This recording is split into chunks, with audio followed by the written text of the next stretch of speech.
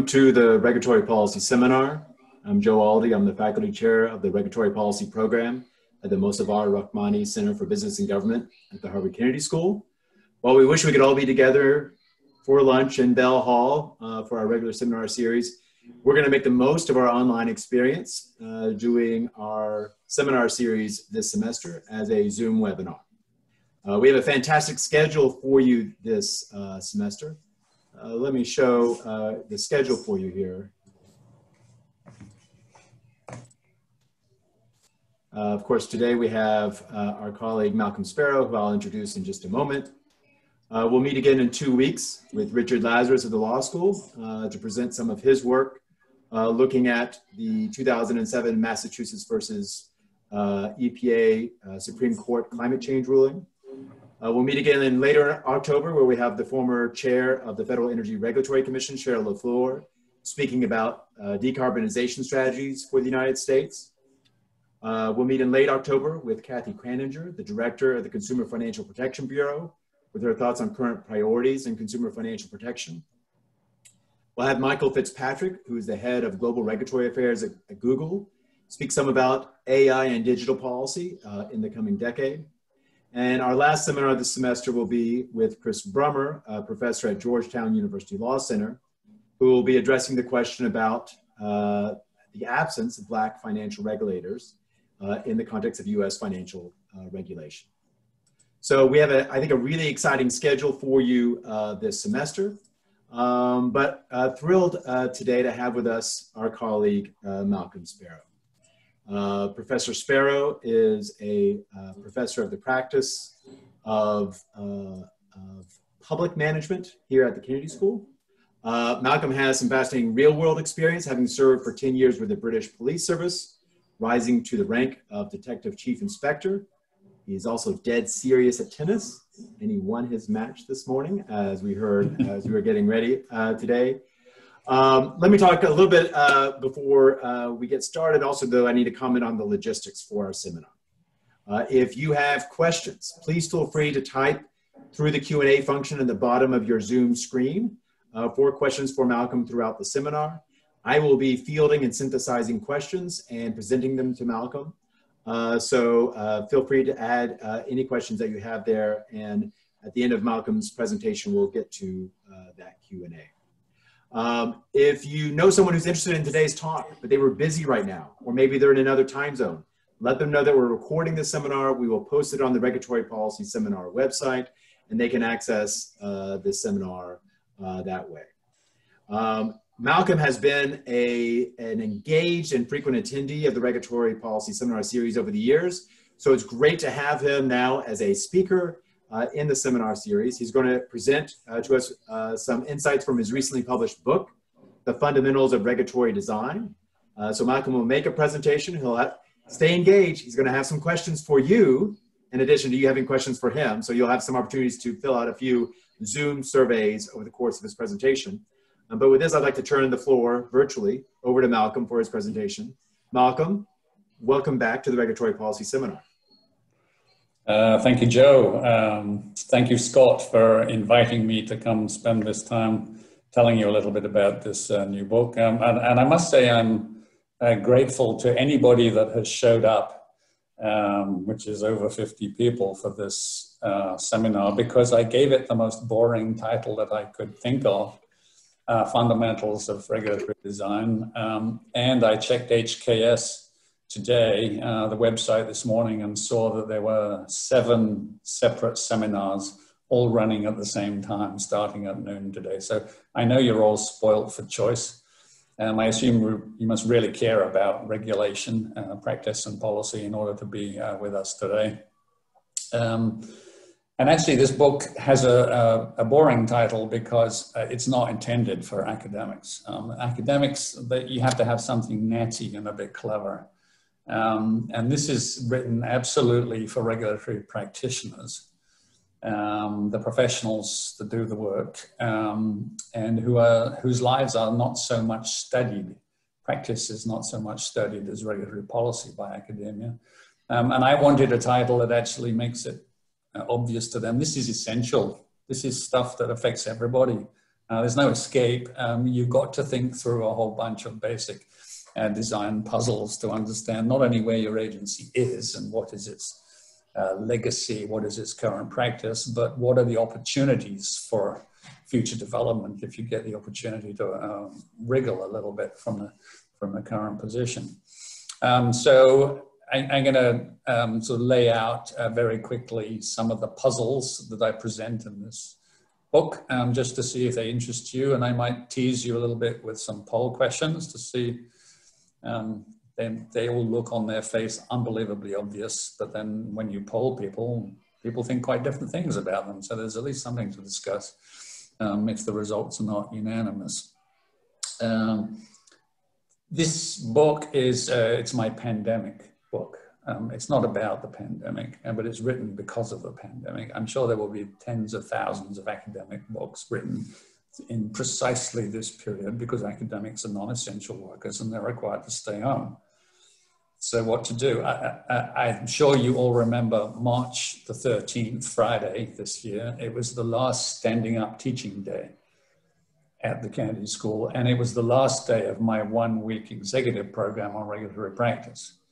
Um, so, you know, we got through that week um, with a lot of chaos going on in the background. And then uh, once that class had gone home, 2 p.m. on Friday, the 13th, the university shut down. The, the word was de-densification of the campus, which meant go home.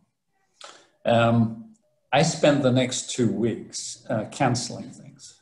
Uh, I had to cancel two trips to Australia, one trip to the Netherlands, a whole bunch of classes and courses and seminars inside the US. Um, and I actually did a little calculation uh, for uh, the remainder of March, April, May, and June. Um, I had uh, 162 hours of classroom teaching booked, all of which just vanished. And I thought, well, what, what, what on earth should I do for all of those people that I'm now not going to meet, most of them regulatory practitioners, um, various countries around the world. And I thought, well, actually, in, just in the teaching time, 162 hours, I can write a book in that time.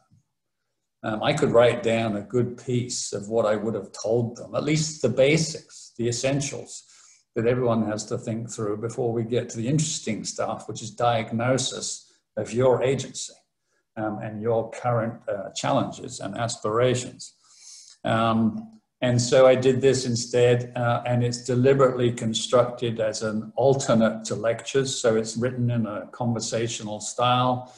Um, at each chapter, after presenting the basic concepts, it has a frequently asked questions section. So you read through this, you're like in the discussion. Then it has a diagnostic exercise. Um, you know, you want to apply this to your own agency. Well, here's the questions that you probably should run through with your colleagues and write something down. See what it shows you.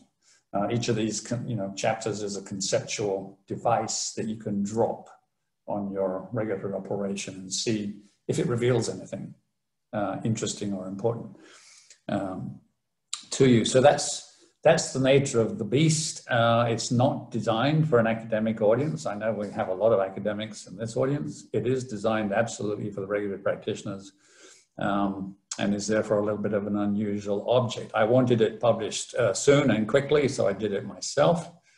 Um, Cambridge University Press wanted to put it in you know, the textbook section, but they wouldn't use my glamorous front cover. They wanted to use their own thing called elements. It looked incredibly dull. It would have taken six months at least, and there would be no royalties. Um, so that wasn't a good idea. Uh, Brookings, who published The Regulatory Craft, my main book 20 years ago, they were interested too, but they, they seemed paralyzed uh, by the uh, pandemic in terms of getting anything done. So I did it myself through um, Amazon and Kindle Direct Publishing. I'd never done that before. It's actually an extraordinary experience, which I'm prepared to answer questions about if you're curious. Um, as soon as you deliver the files in the end, um, there it is available all over the world within 10 hours. Um, it's uh, really, you know, it's a surprisingly straightforward um, and uh, very curious um, thing. If you're, used, if you're used to academic publishing, this is the complete antithesis of it. Um, and there's no downside because um, you can withdraw a book anytime and you retain the copyright. So, so you know, once the pandemic is done, I can take it back and do something different with it if I want. Uh, it doesn't seem to be a downside. And what I did want is to have this material available as uh, asynchronous uh, work assignments for online courses um, where you can actually assign one or another of these subjects. Um, so now I'm going to do a dangerous thing and try and share PowerPoint slides with you. Um, some, somebody must tell me if this actually works. Yes, can you see the front cover? It looks good, Malcolm. Okay, so um, yeah, notice on this uh, Wheel of Fortune, notice the big black uh, thing you don't want to land on, regulatory failure, it all goes wrong. Uh, thinking of FAA today, or as of yes, publication of the report yesterday on the uh, MAX 8 debacle. Um, but there, there are no shortage of ideas about how practitioners should operate. And I just listed like 22 of them here on the cover. Um, what's it about? Um, well, actually, very, uh, the alternate title that I almost used was what is it? What is a risk-based regulator, and would you like to be one?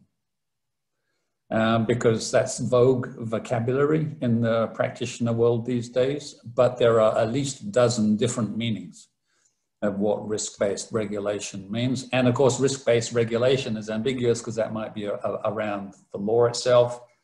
And I'm focused on the, the practitioners.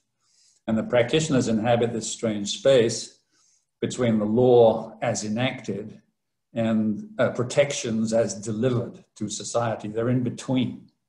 Um, and I believe that they have an extraordinary range of um, uh, choices as to how they organize themselves and what they focus on when they use the law and when they use other devices instead um, in order to, to protect society. Um, this whole subject is also open to people who don't work for government and don't think of themselves as regulators. Anyone that is in the risk control business, um, all of these uh, basic design dilemmas apply to any risk management task also. That's a case that I made much more formally in The Character of Harms, 2008, um, in a much more academic uh, way. Um, but, uh, you know, since then, uh, we have a lot of people come on the um, executive programs for regulators um, who are not regulators. Um, they are often professional board members. Um, they, you know, an eminent surgeon by virtue of their eminence, they've now been put on a professional board. But the moment they're on the board, they've got disciplinary um, uh, responsibilities. They're supposed to help protect the public from malfeasance in the profession. Um, they, they are, and they are now a regulator They're certainly in the risk control business, and they have no training normally in that, however good a surgeon they were. Um, so this subject, uh, all of these basic analyses, highly relevant for them too. Um, and if you happen to have a background in organizational theory, um, a lot of this is about, well, what organizational theories um, are we applying and using inside large regulatory bureaucracies? Um, the reason there is a subject called organizational theory is because um, job, some jobs are too big for one person.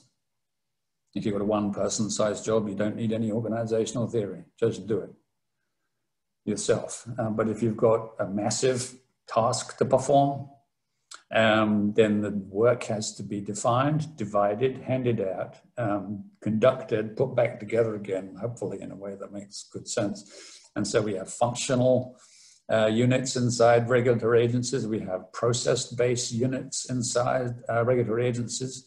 Um, more and more, we now have risk-based or problem-centric work developing a uh, different set of competences. And there's always the um, possibility of crisis response. Um, so four very different types of work being done, they need different organizational um, governance mechanisms. They, they each have their own set of performance metrics relevant to that kind of competence. Um, and all of this happening inside one agency. So, so you begin to get a sense, actually the life of the practitioner is rich and complicated. Um, and I spend forever apologizing to them um, for academia's failure generally to recognize the complexity of their lives um, because we focus so much on the law itself, the legal framework, the cost benefit analysis, the rules that come, the rules that go. Um, and they do feel a little bit neglected in terms of um, uh, serious uh, analysis and attention. So um, at the moment, the book has five chapters. Another beauty of publishing yourself is you can replace the files anytime you like. Um, I've only done that like 12 times so far. Um, and um, if you make a substantial change, uh, you have to call it a second edition. And then I think you get a different ISBN number. Um, I, it will have seven chapters eventually. I'll probably write two more um, after my current slew of teaching responsibilities is done. Uh, at the moment, it has five. These are the core five that I always cover early um, in uh, executive programs. And the first one, um, I'm just going to tell you what they are. There's no right or wrong answer. Uh, these are just dimensions along which you can move one way or the other, um, and where you have a history and, and you might have a future which is different. Um, so, sort of understanding all these five dimensions, which are mostly orthogonal to each other. So with permutations and combinations, is endless uh, variety um, of ways of operating that a, a regulatory agency could choose. Um, this is the first one. This one is not about, um, you know, performance on the pitch. This is the simple question, where's the edge? uh, of the court, uh, the field of play. Uh, you know, cricket ground, there's a rope all around the edge that marks the field of play. It's not a trivial question for regulatory agencies because there's two sets of um, behaviors that you might seek to control. That circle represents non-compliance, people breaking rules. Um, it might be law, it might be regulations. Um, sometimes it's you know, other forms of uh, guidance that have a binding power. Um, and if you focus on those behaviors, then you are a compliance operation. Of course, you can be more or less artful and you can use enforcement and you can use nudge and you can use uh, positive financial incentives or you can do the work for them. But, but the object is to get people into compliance. Um, and then there's people doing things which are harmful or risky. Um, notice some of which are illegal. So this is a Venn diagram overlapping sets. It gives you three areas, A, B, C, from left to right. Um, and uh, some folks say, well, you know, Sparrow, you're a bit cynical. Surely our law is better than this. Um, they're lined up better than this. Um, no, you look across almost any regulatory field, they're not that terribly aligned at all.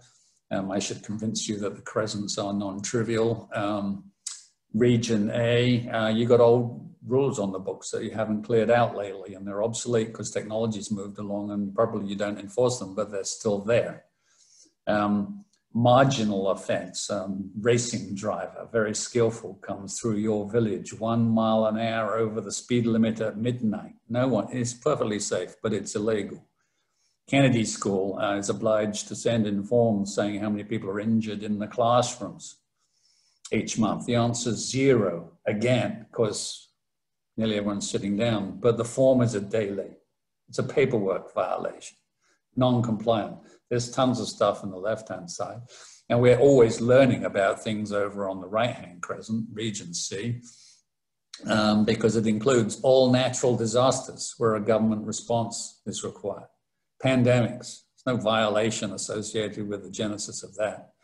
Um, after the global financial crisis, we learned that structural stability questions in financial markets don't necessarily require a violation uh, by any one bank any more than flash crashes on stock markets caused by high frequency trading algorithms interacting in strange and unpredictable ways.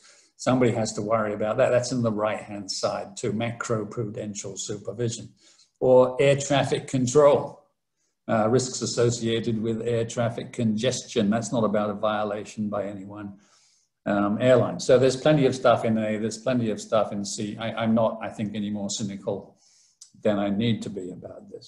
Um, and then there's a simple question, um, which of these regions are your business as a regulator, A, B, and C, and in what order of priority? Um, and everybody's immediately keen to tell me that um, you start in the middle which is obvious, um, region B, because um, whatever those risks are, they've already been recognized. They've been through the rulemaking procedure. They're part of your statutory obligation. Therefore, you've probably got funding as well because the funding tends to go with the statutory obligations or authorities. Um, and it's important because it's in the right-hand circle as well. Um, so that's where you would begin. Everybody knows that. Everybody does that. And, and if you want to go back to the vogue question, what does it mean to be a risk-based regulator? Uh, here's one very simple idea. If you're focused on the left-hand circle, which is called, um, I believe, the legal model of regulation, there's still too many transgressions and violations and you can't deal with them all. So you need an, um, a sort of arbitrage system. You need a, a way of evaluating each one, figure out which, which ones go criminal, which ones go civil, which ones go warning, and which ones do you ignore well, here's one basis for evaluating transgressions. Um, what is the actual or potential harm involved? Perfectly plausible basis for prioritizing transgressions. It's not the only one because it doesn't address culpability or deliberateness or repeat offenders. You know, justice ideas and morality is a different basis. Um, but the magnitude of the potential harm or actual harm caused perfectly plausible. That's the easy part with this puzzle. Um, but it's the next piece which is a bit harder. Um, okay, suppose you've done everything in region B and you've got five hours a week left over. Um, you know, you and all of your colleagues. Are you going to go left to region A and do more compliance work, or are you going to go right um, to region C and do more harm uh, reduction? Risk control, whatever language you want to apply there. Um, and that's a bit of a puzzle. And my first poll is going to ask you that question, a particular form of that question, just to see if it's obvious to everybody which is the right answer. Um, but before I give you a poll or ask you to vote or anything like that, I have to warn you, whichever way you go, you're going to get insulted. It's just that the insults are quite different. If you go to the left, and start enforcing rules that don't have any consequence that the public can see. Now, they'll call you obsolete, unreasonable, nitpicky bureaucrat, nothing but a barrier to economic prosperity. And if they haven't had a, a red tape reduction movement lately, they'll launch one in your honor. But if you go over here on the right, what will they call you? They'll say you're unauthorized. You're going beyond your mandate. This is mission creep or, or they might even call you a mission creep. Or in America, they say unconstitutional or undemocratic. Didn't you study public administration? Don't you know that it's up to the legislature to figure out the rules? Your job, executive, is merely enforce them. And if you do a good job of compliance management and there's a pile of dead bodies over there, or insolvent banks, or crashed airplanes, that's not your problem. That's a defect in the legislation. You might point it out to the legislature. Um, that's a different view. And I, and I, put in the word entrepreneurship just to provoke you here. And, you know, what about exploring unexploited business segments, chances to identify risks and control them, even though no one gave you that job? That's the positive view of mission creep. So, um, I'd like you to imagine yourself, you're in a, you're a regulatory official, uh, you're a professional, and you're facing that choice. You've done everything in region B, you've got five hours a week left over, and I'm not going to give you the easy option I do a bit of each. No, I want you to say what's the right choice, region A or region C. Uh, Victoria, please pull up poll number one. So, uh, and look at the wording of the question. It's really quite deliberate. Given this choice between regions A and C, what is the right thing for a public official to do? Oh, in a democracy. Far away. Um, we're going to wait until, like most of you have voted. What is the right thing to do in a democracy?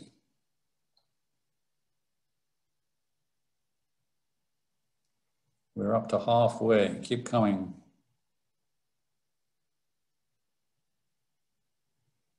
We keep coming, 58% voted.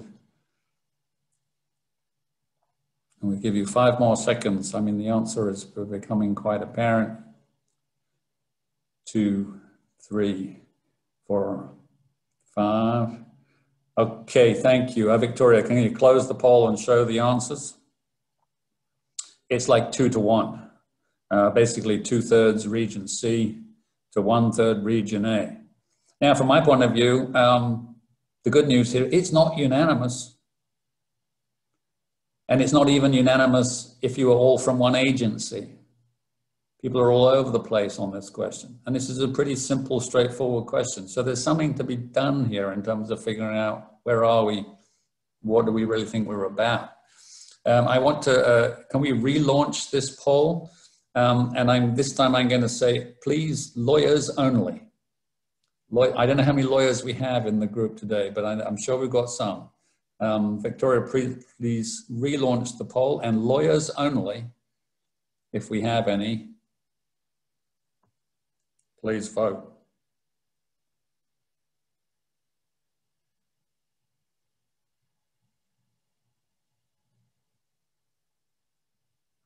Right, I think that's not quite settled. So again, Malcolm, uh, one quick question. Uh, it's to be clear here that you're saying if you have additional time to work, yes. you focus your initial efforts as a regulator on the obvious area in the middle. Yep. So the question is, do you spend more of what you call region A, which is that area to our left that's illegal, yep. or more on what you're calling region C, which is to the right of what's harmful? Yes, harmful, but probably not recognized yet in law. So, uh, uh, Victoria, thank you. Close this poll and show the results. Um, okay, uh, uh this we have very unusual lawyers in this group. Um, uh, if I do this with uh, an agency and you've got the general counsel's office represented there, and actually I did this with 109 Australian regulators last week, all the lawyers are voting for Region A as a general rule. They are incredibly nervous about going into Region C and for very um, good reason. But we got a two to one uh, Region C to Region A. Um, uh, Victoria, uh, please pull up the next poll, uh, poll number two. This is a slightly different version of the question. Uh, so poll two.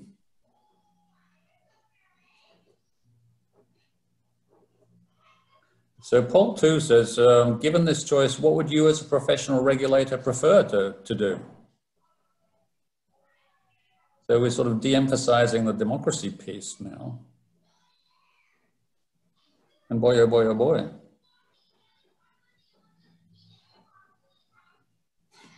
Um, the question is, does it change your vote at all? And if so, why?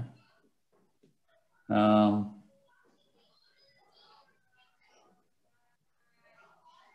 Okay, I think that's enough time. Uh, Victoria, thank you very much and show us the results. Uh, and um, what you notice is that it shifts substantially to the right.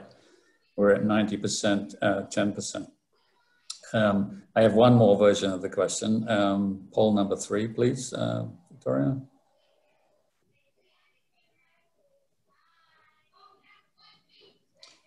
This is um, not what you want to do as a professional, but what do you think the public wants? Um,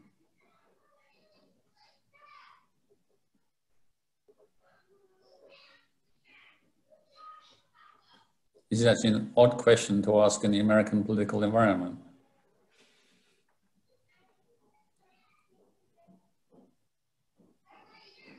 Okay, um, so just please show us the results. Um, again, it's uh, shifted to the right um, quite substantially. It hasn't shifted quite as far as the, the second version of the question. What you should know is that in most other countries, it shifts almost all the way to 100% uh, region C. Um, there is a political ideology, um, some parts of uh, US community that, that wants small government at all costs, um, part of a, an ideological um, uh, belief, and therefore um, uh, they're going to vote for region A. Um, it's curious when you look at these three versions of the question that what you'd like to do and what you think the public want uh, seem to be somehow constrained by democracy. Uh, because when we put democracy and your obligations to democracy into uh, the question, um, then we get a slightly more conservative uh, response. Uh, thank you very much. You can put this uh, poll away for now. Um, and uh, I'm not going to um, tell you that there's a right answer. Uh, there isn't. Um, we are in a period when almost all regulators um, want to move to the right and um, arguably are already working in the expert domain. In fact, if you give practitioners a little while, very simple diagnostic question, do you deal with issues that aren't that don't involve violations? And the answer within 10, 15 minutes, almost anywhere, is yes, except tax administration. Arguably, tax agencies don't have the right hand crescent. Their job is to get compliance with the tax policy, uh, tax law. The law is set above their heads up in the um, legislative committees or the uh, Ministry of Finance. Um, but everyone else is already doing this, and they usually don't realize that they're doing it. And the lawyers are nervous about it. Um, and so we are in a period when, for a whole variety of reasons, uh, which we can't go into today, we are moving to the right towards the expert model. Um, but even those that operate that way don't seem to embrace it or understand it explicitly. And their stakeholders don't necessarily agree. Um, and so my advice then is if you choose to do this, which of course is up to you, make sure that you do it deliberately and that you understand the consequences and that you communicate that choice to everyone that needs to know, including the journalists and the industry um, and the politicians. Um, because if you embrace the expert model, it changes everything about regulatory conduct from start to finish. It will surely change the data that you gather because you're interested in stuff happening here, even if it's not covered by a law. Um, it'll change the analyses that you conduct because you're interested in patterns and trends and clusters of harm, whether or not they lie to the left or right of this particular line. It will surely change the range of professional skills that you hire people for and that you um, value in-house and promote for, because all the other ways of dealing with risks that don't involve compliance operations, education, outreach, voluntary guidance, part, uh, partnership programs, naming and shaming people in the press, raising awareness, all of these things count here um, because there's so much can be done even if the law doesn't cover it. Um, and at the end of the year, um, you, it'll transform your performance report. Annual performance report, if you're in the legal model, is mostly about compliance activities. And the eventual outcome, if you know how to measure it, is compliance rates achieved.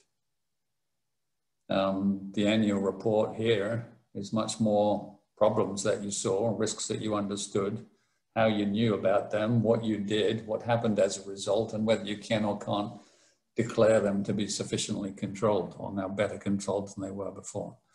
That's puzzle number one. Um, and if you'd like a longer conversation about that, that's chapter one in the book. Puzzle, puzzle number two. Oh, um, diagnostic questions for that one, or is your agency already operating in the expert model? Um, does everyone understand the implications if you are? And do your outside stakeholders understand? Uh, if you're interested in these diagnostic questions, there's a downloadable file from my website on this, so the address will be on the slides. Um, you can download a Word file that has all the diagnostic questions so that if you want to, you can go through and fill it in. Number two, um, here's a slide I created um, for talk at the Kennedy School to the faculty in 2008. It caused mayhem amongst Kennedy School faculty. It's such a simple thing. There's bad bads down the left-hand column and there's goods down the right-hand column. Um, as far as I could find them uh, in the English language, you know, countervailing goods, uh, like the antonym where more of the left is less of the right and more of the right is less, less of the left. Um, and that you know begins to look like and these these are social harms down the left hand side of one kind or another some of which don't involve violations um, disease poverty um, generally don't involve violations uh, but they are nevertheless risks to be controlled so this just illustrates the fact that all of this analysis applies in the risk control business generally um, but I'm not interested in the semantics. I'm interested in the organizations and what they do. So let's uh, imagine a, a zero-based design opportunity. Uh, you're going to pick one of these things in the left-hand column in some jurisdiction that hasn't paid much attention and create a new agency.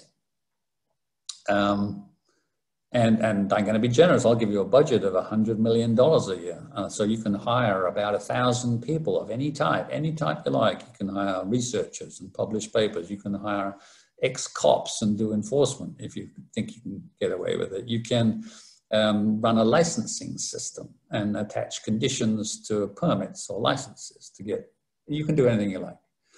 Um, question, as you design a brand new operation with a thousand people on a big budget, does it make any difference to what you will construct if you focus on the bads to be identified and reduced, or if you focus on the goods on the right to be identified and promoted or extended?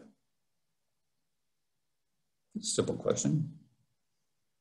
And people have the most extraordinary set of responses to this. Um, and, and I think logical to say either it makes a difference or it doesn't.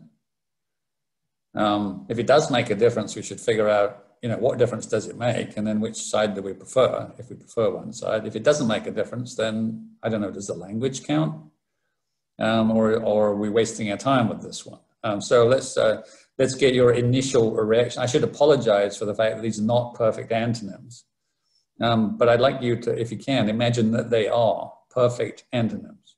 I think the one that comes closest to being perfect is highway accidents and highway safety.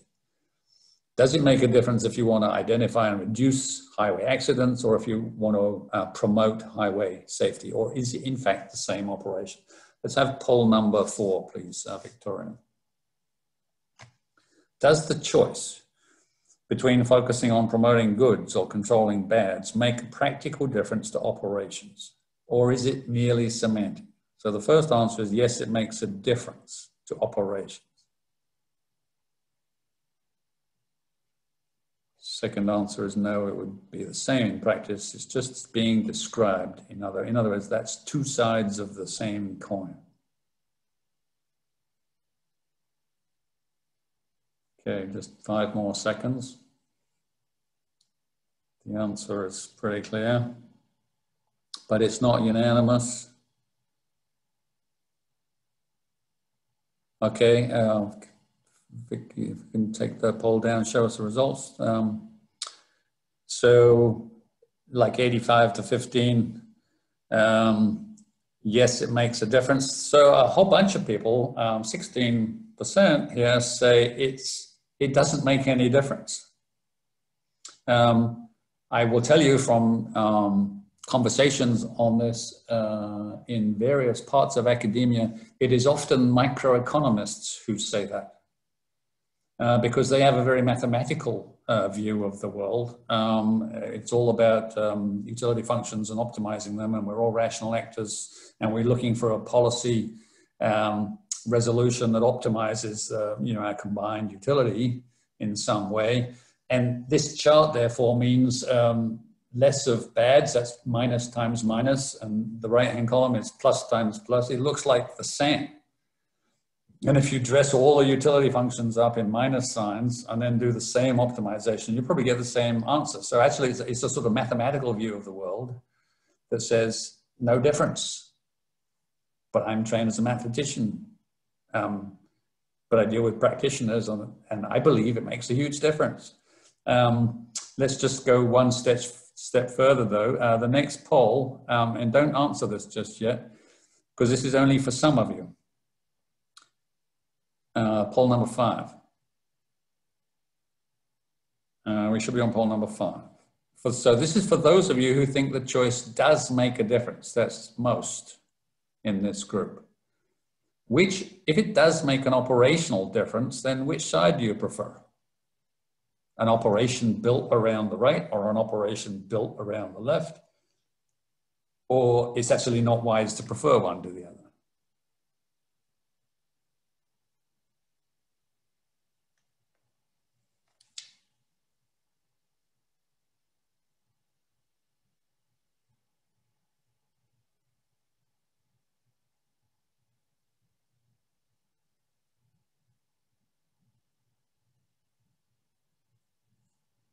Five more seconds.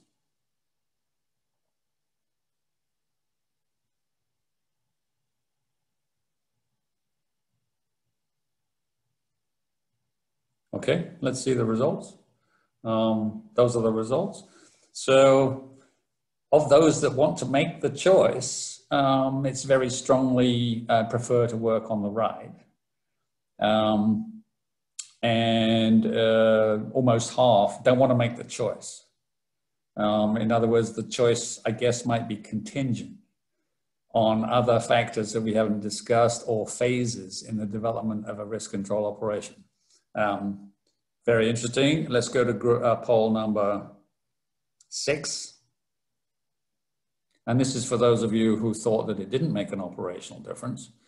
Um, then do you, do you have a preference over how you describe the work? If it's merely semantic, is it better to use the language of promoting goods or is it better to use the language of identifying and tackling bads? Or should we not prefer one language over the other?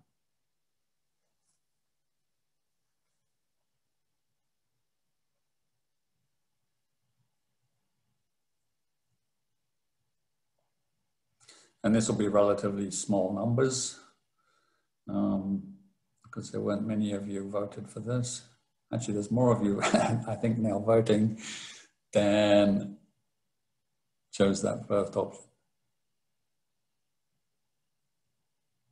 Okay, I'd like to show the results. Um, so a few, a quarter, don't want to make the choice, but of those that do want to make the choice, very heavy preference for the language of the right, positive promotion. Uh, I don't know, maybe you have in mind um, research results from behavioral economics. Um, um, it's always curious to me what that strong preference is based on. Uh, thank you. Let's put that poll away uh, for now. Um, so here's uh, what I think I know um, from discussing this with a great many different groups. Uh, first of all, I am absolutely convinced that it's a different operation. Um, and when the sort of mathematically inclined say, you know, no, it's not, you're just messing with the signs, Malcolm. Um, I say, well, let me, all I need is a counterexample to blow your theorem away. And my favorite counterexample would be the healthcare sector um, because it's so beautifully differentiated um, into different professions that work in quite different ways. And you know, let's talk about a wellness program over here. It's a big, broad, positive program. It does a lot of good. It contributes to disease control. Um, up the front of a classroom, you've got a nurse or an educator and a group of people at some teachable moment in their lives, and they are discussing healthy lifestyle choices that are within their capacity to make. Um, and this, uh, therefore, they're discussing stress reduction and sleep patterns and proper exercise and diet um, and how to protect yourself against certain classes of infectious diseases. Um, all good. Does it contribute to disease control? Yes. Which diseases? Answer those that happen to be susceptible to this programmatic intervention.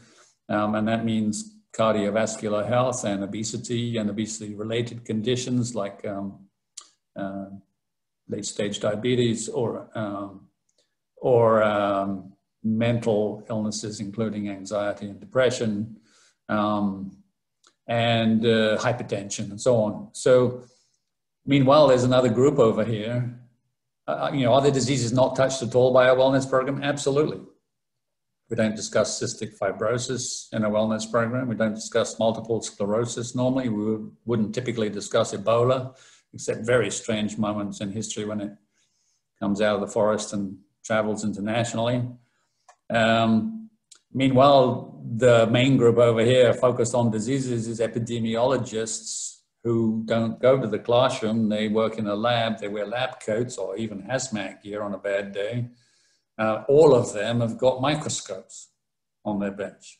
Why do they have microscopes? Didn't need a microscope for a wellness program. Answer, because they're studying the bads. They're looking mostly at pathogens and viruses and bacteria and disease cells or something that's not working right. Yes, they look at good stuff too, but only normally for the sake of comparison.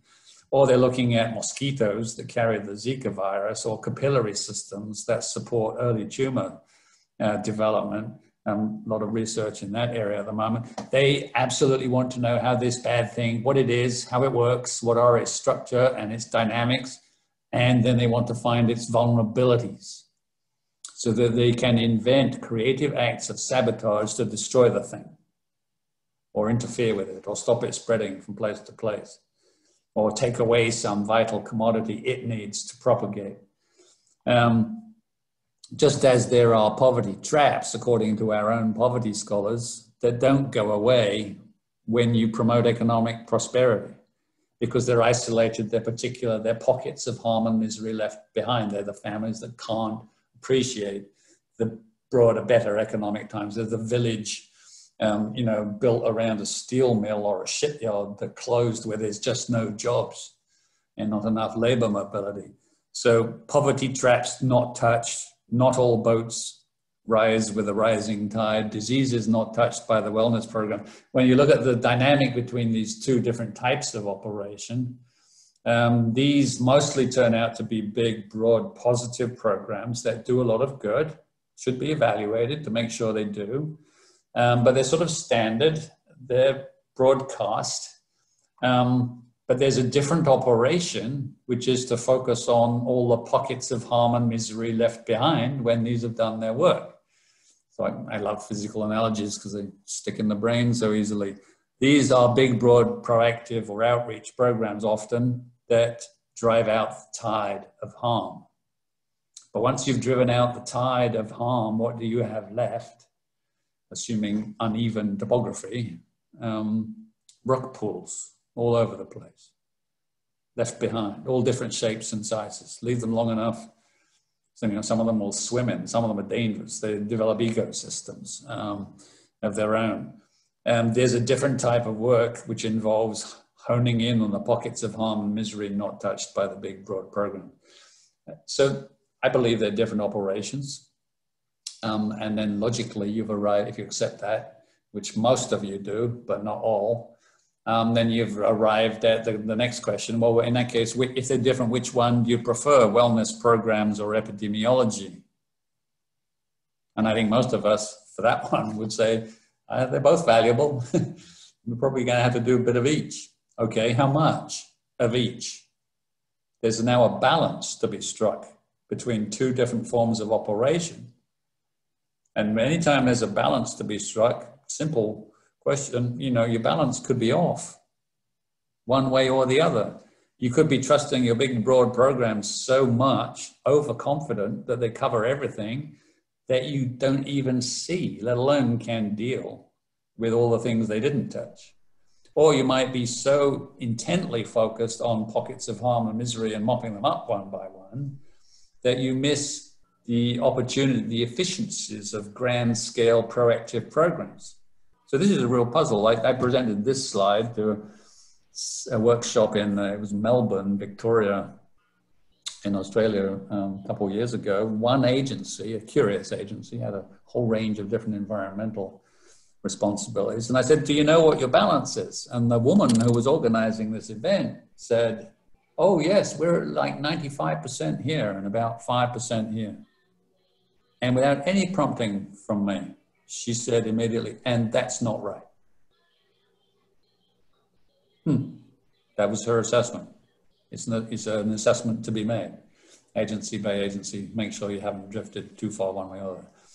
Um, back to the, you know, the vogue question, what would it mean to be a risk-based regulator? If this is the dimension of choice, um, where are the risks? They're over here. Um, and I think what it would mean is make sure that you have at least some capacity, enough capacity to deal with all the rock pools left behind once the tide's been driven out. Why is it that people prefer this language and sometimes uh, this operation? Uh, if I interrogate individuals who vote this way, uh, uh often they say, well, I'm, I'm a positive, uh, you know, encouraging person. It, it, sort of fits my character. Uh, I believe, by the way, it works better. That's a different argument. Um, but often it's, um, you know, I like to be here. to do this work. Um, to which I would say, I, I like positive, encouraging people. I like to be surrounded by them. I need them. Um, but I don't think your character should determine the structure of the organization. Um, I think it might determine where you belong inside the organization. Um,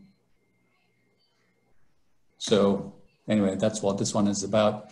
Um, and then the issue of labeling, um, uh, whether it's better to talk about, you know, we're doing pollution control, again, you know, running enforcement campaigns against industry, or we are promoting environmental stewardship, that is probably political management puzzle. Uh, whatever works best at a particular period, and given what happened or didn't happen last week, I don't think the political management, how you describe your work, should really affect your organizational design because this should change slowly, carefully, incrementally, once every two, three years at most. This political um, communication strategy might vary day by day, week by week, depending on what just happened. Um, so they, they need to be decoupled from each other, two quite different principles. Um, that's chapter two. Diagnostic questions for this. Malcolm, can I can I note for you? It is twelve fifty two. We have about eight minutes before we need to wrap up. I'll take thirty more seconds and then be quiet. Okay. What questions we have? Um, this would invite people to assess the balance. Um, this would invite people to um, uh, try and figure out is it about right or are they making one of these major errors one way or the other.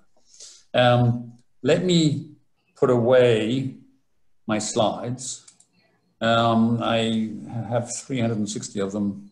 Um, I I might show you eight. Um, chapter three is about the emergence of craftsmanship um, and, and, where that sits in an agency. Um, it, I think craftsmanship comes as the antidote to the pernicious swinging of the regulatory pendulum, term that might be familiar to many of you. Um, and it also comes as an antidote to groups that have an ideological preference to be hard and aggressive and enforcement centered versus soft and friendly. Um, chapter four is, a, is where uh, so much of the action is these days. It's about um, developing a problem centric capacity, uh, which is different from functional units or processes. Um, and how you integrate that into a regulatory agency. And chapter five, um, that's the one that the FAA, FAA should be reading right now. It's about um, how you, uh, when you devolve responsibilities to the industry that you regulate, and when it's safe to give them parts of the risk management job. That's the biggest and most and deepest and uh, to me the most alarming piece. Those are my five puzzles at the moment. Um, I'll probably add some more as we go along. Actually, that, that's a lot of stuff that should let you react. Joe, over to you. Great, thank you, Malcolm. Uh, some some fantastic work for us to to think about. Uh, one quick question: Are you going to do an audible version of your book? Right? So that's an audible version. Yeah, so that not only can we read your book uh, online, but will, will you actually read the book uh, as a recording that someone could listen to? Well, I'm I'm all I'm all into learning new media. Okay. The strange thing is, it's sort of written as if it starts with a transcript of a lecture, and now you're okay. well. Actually, why don't you do the lecture? so, so, so let me go back uh, to your discussion earlier about setting the mission. Yes. And I think it gets to this, this question about whether or not regulators have either the um, authority or perhaps have the entrepreneurial spirit to be adaptive to new information about yeah. risk. Yeah. And, and part of it, I think, you know, you noted about what might make us a little bit uncomfortable about a regulator in a democracy going after the harm that's not currently illegal. I think in, in the world that I often work in on environmental policy, we often don't know what future environmental harms are going to be. Yeah. We give a, a criteria that we might want the regulator to use.